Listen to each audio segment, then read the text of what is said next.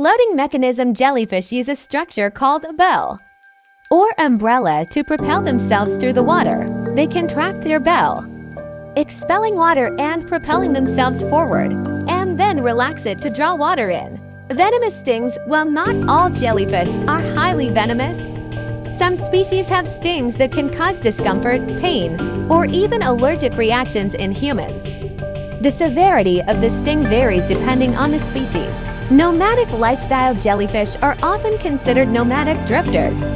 As they move with ocean currents, they can be found at various depths.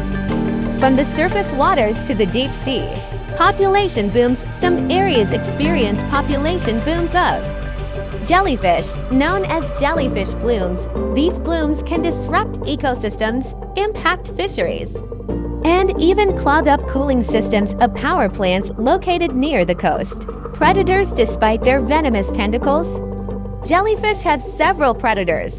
Some sea turtles, certain fish species, and seabirds are known to feed on jellyfish. Different types of jellyfish There are various types of jellyfish, including the box jellyfish, moon jellyfish, lion's mane jellyfish, and the Portuguese man of war. Each species has distinct characteristics and adaptations. Color variability While many jellyfish are transparent or pale, some species exhibit vibrant colors due to pigments in their bodies or symbiotic relationships. With colorful algae, medical research, some scientists study jellyfish to gain insights into topics like muscle movement, nervous system function, and environmental changes in the oceans. Human uses in some cultures. Edible species of jellyfish are used in cuisine.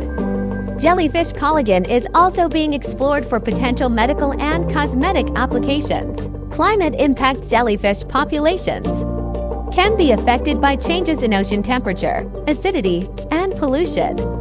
Some scientists believe that certain conditions linked to climate change might contribute to jellyfish blooms. Jellyfish are intriguing creatures with a range of behaviors and adaptations that allow them to thrive in their aquatic environments